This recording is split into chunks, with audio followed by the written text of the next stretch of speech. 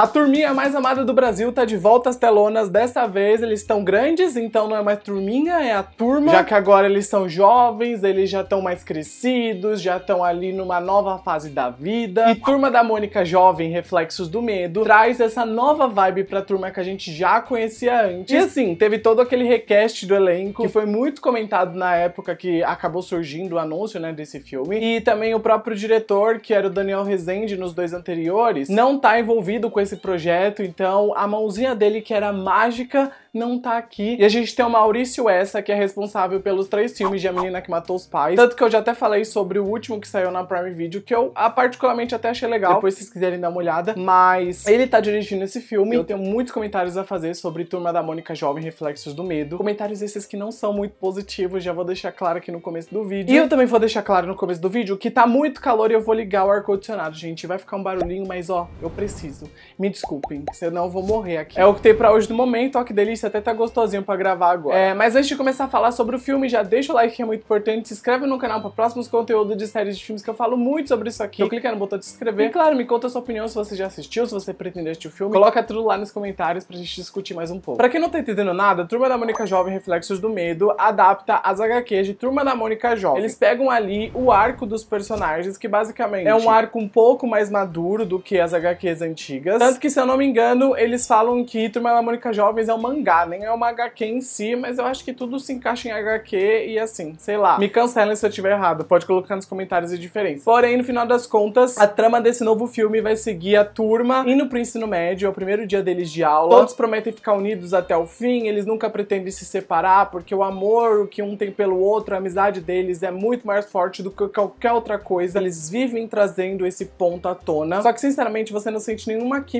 entre o elenco. Isso é um pouco triste. E eu não tô nem reclamando em si do elenco. Só que, depois de ter assistido Lições e Laços, dirigidos pelo Daniel Rezende, você já vai assistir o Turma da Mônica Reflexos do Medo com uma cabeça um pouco diferente, esperando que chegue pelo menos ao patamar ali, né, desses dois filmes anteriores. Que, gente, que live action bom. Eu já tenho um vídeo dele é, enaltecendo os dois, porque eu realmente amei o que eu vi. Eu não gostei, eu amei. Daniel Rezende deu muito coração para aquelas duas histórias. O elenco também conseguiu se conectar demais com os personagens. Eu sinto que o primeiro filme, que é o Laços, eles ainda estavam tentando entrar nos personagens, mas eram personagens que você acreditava, por exemplo, que era a Mônica, que era o Cebolinha, que era o Cascão. Você embarcava naquilo, porque eles tinham realmente uma energia gostosa na tela. E eles tinham química uns com os outros. Aí quando chega nos lições, meu Deus, 10 de 10. Atuação boa, roteiro digno, direção maravilhosa. Só tem elogios pra fazer daqueles dois filmes. Aí chegamos aqui em Reflexos do Medo. E assim, Maurício Essa, ele tenta fazer as coisas acontecerem, ele tenta fazer o elenco ter essa união que ele tanto quer imprimir na tela. Você vê que muitas das cenas ele faz ali, o elenco fica juntinho e falar frases de efeito, tipo, vamos ficar unidos. Mas no final das contas ele tenta, tenta, tenta e nunca chega a lugar nenhum. E isso é muito triste. Porque, por exemplo, a gente tem atores muito bons aqui no elenco que realmente conseguem entregar o personagem da maneira correta. Como a Bianca Paiva, que interpreta a Magali, a Carol Roberto, que interpreta a Milena, o Theo Salomão, que interpreta o Cascão, a Carol Amaral, que interpreta a Denise, a Giovanna Chaves, que interpreta a Carmen. Tanto que essas duas foram as que mais me cativaram durante o filme, principalmente a Denise. Gente, eu dava altas risadas Carmen também conseguia entregar aquele jeito ácido muito bom. Essas duas atrizes para mim foram as que mais arrasaram, porque não pareceu que elas estavam batendo o texto. Parecia que elas nasceram para interpretar seus personagens. Então elas se encaixaram bem, sabe? Foi um fit perfeito aqui no filme dessas duas. Eu sinto que a Magali e a Milena também têm seus altos e baixos durante o filme. As duas ali, em alguns momentos específicos, pareciam que estavam mais batendo o texto do que performando é, para as personagens que elas estavam interpretando. Então eu senti um pouco disso, esse estranhamento. Mas de um modo geral, elas entregaram muito bem. Cascão também é outro personagem que eu curto a vibe dele, que gosta de heróis, aquela cena do parkour durante o filme que foi super aleatória, mas ao mesmo tempo é muito da energia do personagem. Eu sinto também que os personagens foram um pouco descaracterizados aqui. Eu não li as HQs, tá, o mangá de Turma da Mônica Jovem, mas eu sempre li o Turma da Mônica normal. E assim, muitas das coisas da personalidade dos personagens lá não tá muito presente nesse filme. A não ser as cores que eles usam, que isso daí é indiscutível, sempre tá presente em absolutamente tudo. Mas cebola. As constantes trocas de palavra, como por exemplo, poucaria, né? Tipo,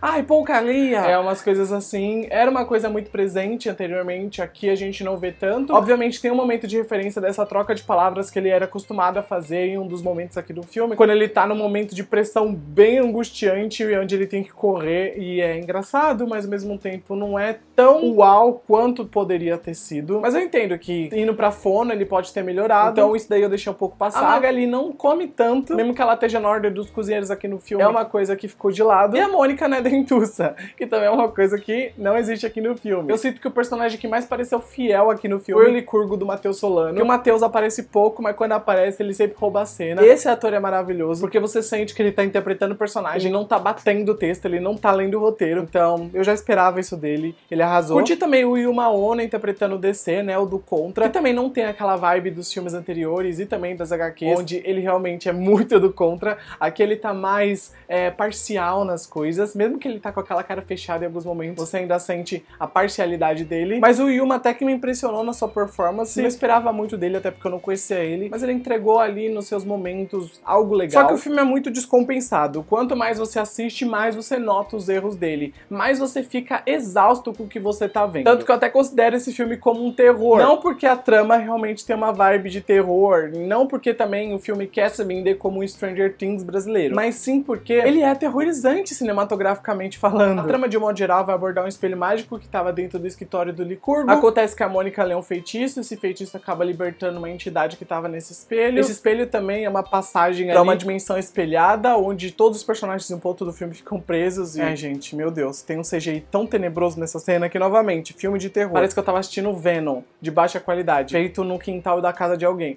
Mas eu não vou reclamar de CGI, porque se o CGI fosse a única coisa ruim do filme, até aí eu falaria ok. Mas não é. Eu não gosto de trazer publicidade ruim para filmes brasileiros. Eu prefiro até quando eu não gosto não falar. Mas eu sinto que, como eu já falei dos dois anteriores de Turma da Mônica, a, obrigação de falar desse era muito grande. Sabe? Eu me sentia muito na obrigação de comentar o que eu achei dele e vocês mesmos nas redes sociais pediam a opinião completa. Eu falei que o filme entregou horrores e ele literalmente entregou horrores, não de uma maneira boa. E eu fico chateado com isso, porque muitos do elenco são bons. Mas um dos maiores erros aqui do filme é o roteiro e é a direção e é o protagonismo da Sofia Valverde, que eu não queria falar isso porque nossa, ela foi um amor comigo quando eu gravei um videozinho que eu postei lá nas minhas é... redes e eu fico muito chateado porque gostei muito dela, ela é fã de Pânico, ela é fã de Jogos Mortais. Eu queria só enaltecer ela, porque eu já amei ela quando ela falou que ela era fã de Pânico. Mas eu não consigo mentir aqui para vocês e falar que ela entregou uma performance ótima, porque ela não entregou. A Mônica dela não tinha a energia de Mônica, não tinha o carisma que era necessário pra Mônica. Eu sinto que os momentos que ela mais entregou uma boa performance foi quando ela tava irritada. Quando a Mônica realmente fica irritada nas HQs, eu sinto que é a mesma vibe que a Sofia passa. Então, a Sofia conseguiu entregar muito da Mônica nesses momentos é meio que de exaltação, onde ela tava no limite dela. Só que de resto, ela não conseguiu ter uma interação legal com o Cebola. Realmente não senti algo muito da hora entre os dois. Eu sinto que como amigos eles são ótimos, mas como namorados eles não funcionam bem em tela. Coisa que a Julia e o Kevin conseguiu entregar muito nos filmes anteriores, que era a química. Os dois tinham uma química imprescindível. Aqui eu não senti entre esses dois. E além desse problema, né, que é a protagonista do filme não ser uma protagonista que a gente se envolva, o roteiro envolvendo toda a trama da Mônica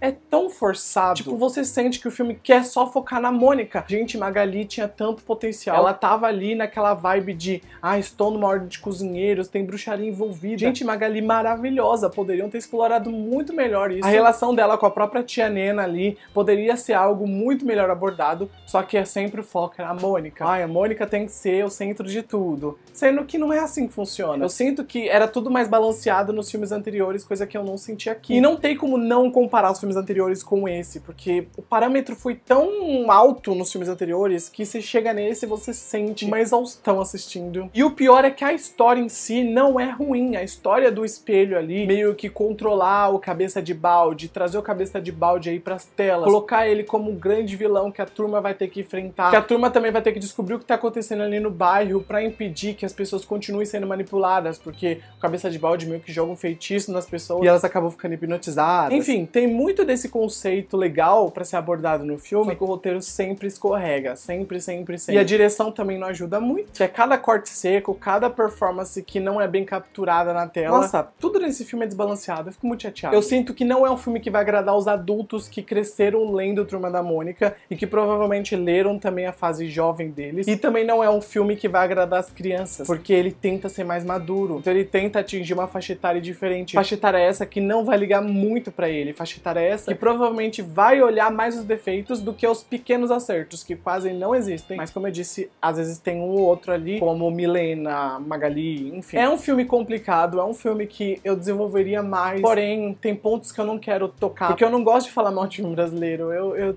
dá um aperto no meu coração fazer isso. Porém, é isso. Turma da Mônica Jovem Reflexos do Medo estreia nos cinemas no dia 18 de janeiro. Se vocês tiverem interesse, assistam nos cinemas, confiram, tirem suas conclusões. Pode ser que vocês se divirtam, pode ser que não, pode ser que vocês gostem. Talvez até quem gosta das novelas da SBT, que assistiram Poliana, pode ser que curtam, porque eu acho que é no mesmo nível performance, roteiro, nível B.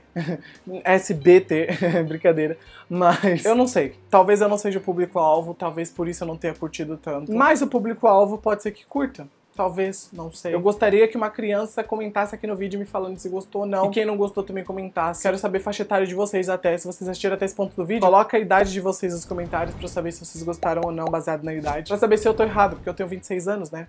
Vai saber. Mas é isso que tinha pra falar, gente. Acho que desenvolvi o que eu deveria desenvolver. O filme acaba com um gancho é, em aberto pra um próximo filme. Que eu não sei se vai acontecer, mas tem um gancho em aberto que é um pouco promissor, mas eu fico com um pouco de medo. Mas eu ainda sinto que o elenco pode evoluir pra uma sequência, assim como aconteceu nos dois anteriores, então eu fiquei meio em cima do muro. Deixa o like que é muito importante para saber que você curtiu o vídeo, se inscreve no canal para próximos conteúdos. Beijo e tchau!